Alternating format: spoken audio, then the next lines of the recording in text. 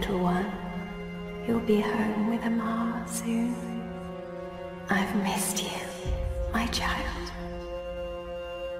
I've missed you here. In the deep. In the dark. In the cold. Come to me, my sweet little Kian. Come. Home. Is he, Naani? Will he live? Your magic brought him back from the darkness. My magic helped him stay. But the fight is his alone now. He must choose to live. Hush, Kian, hush. Rest your head on the pillow. You will soon be home. In the deep, in the dark, in the... Why do we keep him alive? He's the enemy. The fever ate him up. No, Likho. We brought him here for a reason. We need him alive. You freed me, Kian Alvane. Don't blame yourself for my death. This is what I wanted. To be free. To be reborn.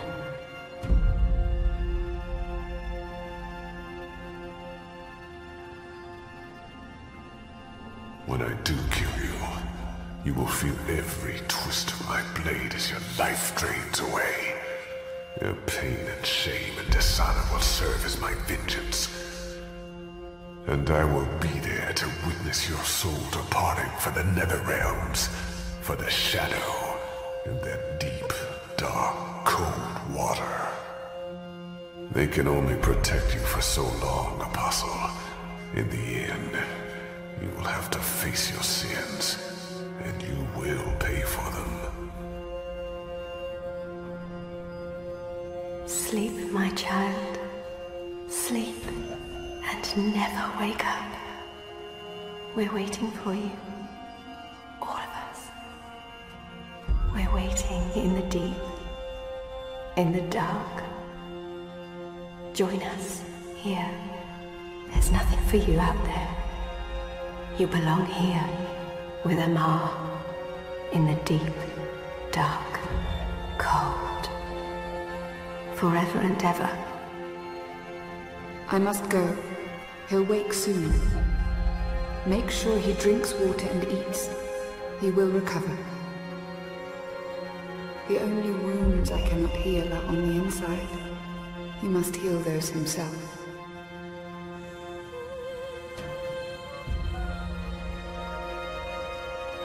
Wake up, Kian. Wake up. Wake up! Where in Shadow's name am I?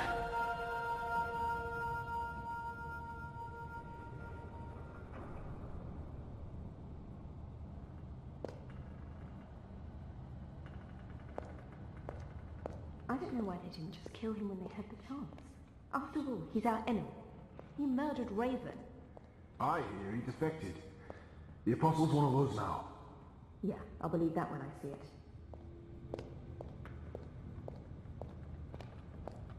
Shit, he's here. What if he heard what we... Shh! They're waiting for you out in the main hall. I'm glad to see you're up and about. Most gambled on the fever taking you. I won quite a few iron pieces, to be honest. Is it true that Captain Bakim sacrificed his life to free you from Friar's Keep? He was a good man.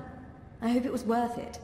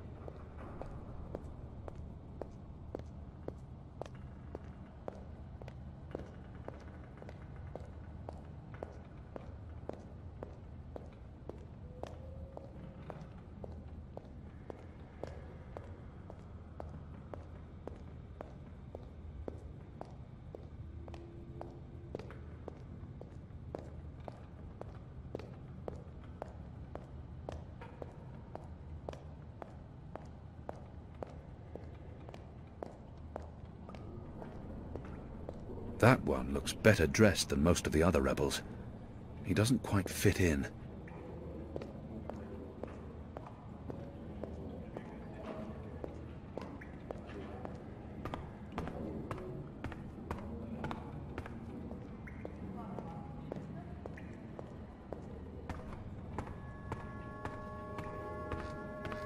The traitor is back on his feet. Praise the balance.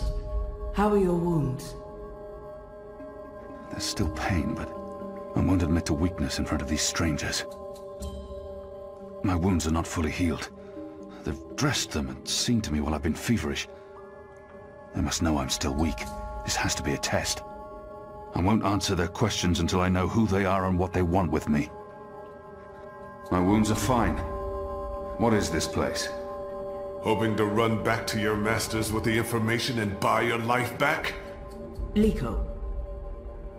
You are in the Enclave, the ancient library of the Sentinel Order of the Balance in Marcuria. It serves as our base of operations. Our? The Resistance, Alvane. Those who have come together to fight the Azadi.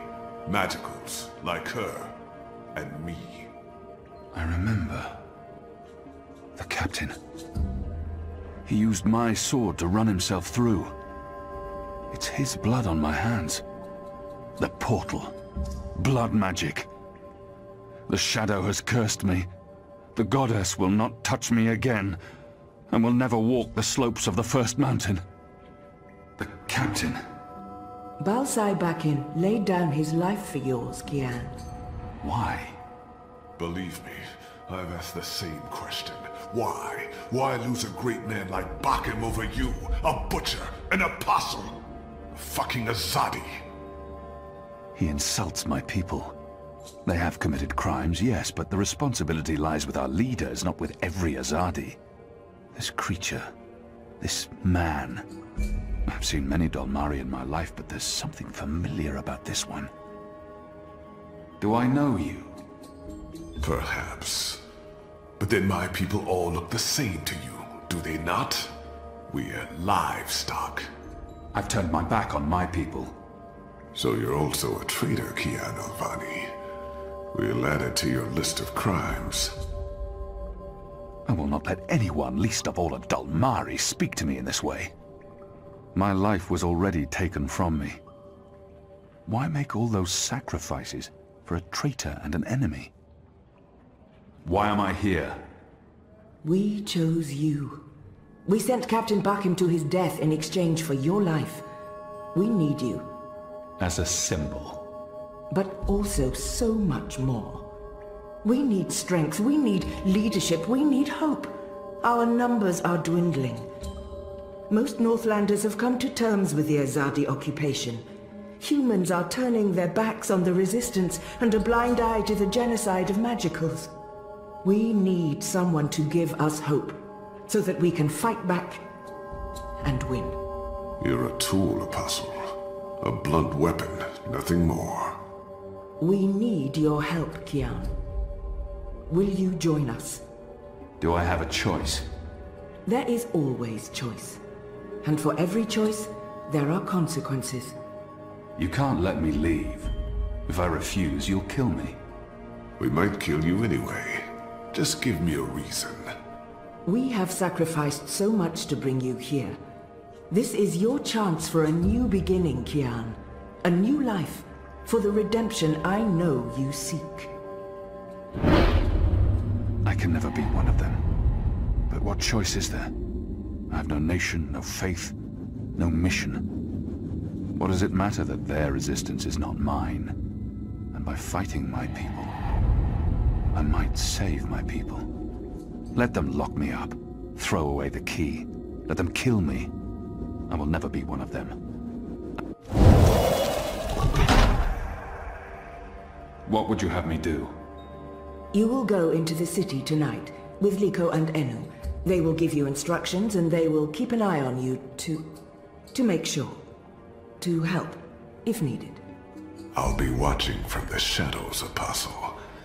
A poison arrow pointing straight to your chest.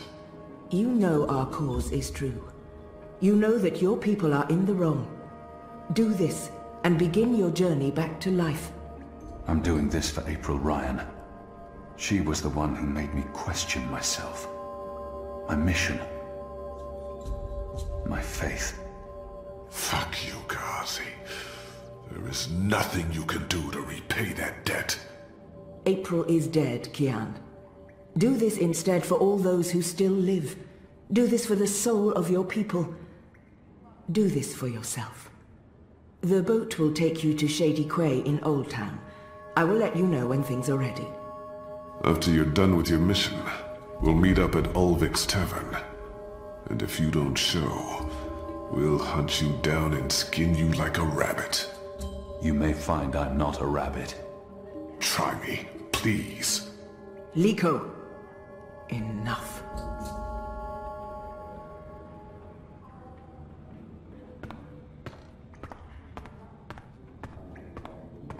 This one leads the magical resistance. She's a Samare. I've never met their kind before. You have recovered well, Kian. Your wounds were deep. You are strong. You brought me back to life. I'm still not sure why or what for. We would not have saved you if we did not believe in you. The Dalmari does not agree. The Dalmari has a name, and Likho has his reasons. You may want to speak with him. And what if he's right? What if I'm not the man you think I am? It doesn't matter, Kian. You have been born again. You can become the man you want to be. Not everyone gets a chance at redemption, to undo the damage they have done and to shape their own future. The captain said the same thing, only with different words. Balsai is... he was a man who spoke his mind, and spoke freely. I never met anyone who cursed as colorfully as he did. It was truly a thing of beauty. But he too had a past that haunted him. He was a lot like you. With us he was given a second chance, a rebirth, an opportunity for redemption to atone for his sins. And he did. For the time being, I can do more here than I can anywhere else. I'm caught between worlds, part of neither. I don't belong here. I don't belong anywhere. I will try not to disappoint you. I have faith. Don't talk to me about faith, Shepard. Faith is everything. Faith can lead you astray. Blind faith, yes. But faith can also lead you back to life. We will help you open your eyes. Kian, would you share your story with me? I have heard only fragments, rumors. I know there's more to it. She saved me.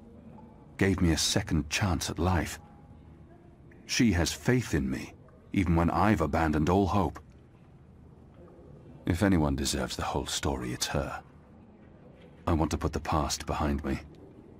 I remember it. That's enough for now. She means well, and I will hide nothing from her, but until I know the way forward, I'm not looking back. Of course, Shepard. Before all this, I was the Apostle. Back home in Azadir, I was loved and feared.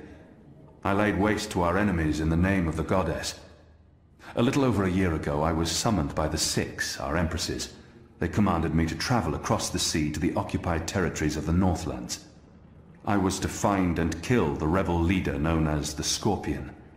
He had murdered many Trueborn, and he stood in the way of our mission. I had always been taught that magic was evil, an affront to the laws of nature and to the goddess. I'd been told that the magical races were dangerous and immoral. But when I arrived here in the Northlands and met the people of Marcuria, well, magicals were not the simple monsters of my childhood tales. Magic wasn't simply a tool for evildoers. It was a lot more complex. Then I met April Ryan, rebel leader. Of course I didn't know it then. She was a stranger, our meeting accidental. But I know now that it was meant to happen. She was strong and honorable and good. She stood up to me.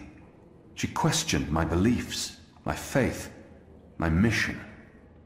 Her strength made me question everything. But I still went after the Scorpion and the Resistance, blindly, on faith. I finally tracked down the Scorpion. April Ryan. Infidel. Terrorist. Leader of the Resistance. Nothing made sense. But a choice had been made. The consequences were inevitable. My own people had me followed. My blind faith led them straight to her to April. They killed her, decimated the resistance, sentenced me to death. For a year I rotted away in Friar's Keep. I was already dead, a walking corpse. I had lost everything. I'd given up. But now... Now I have the opportunity to redeem myself and my nation. To help rebuild the resistance to avenge April Ryan, and to bring justice to those we... those I have heard. For that I'm grateful. Of course. Thank you. When you've spoken with the others and are ready to leave, come see me again.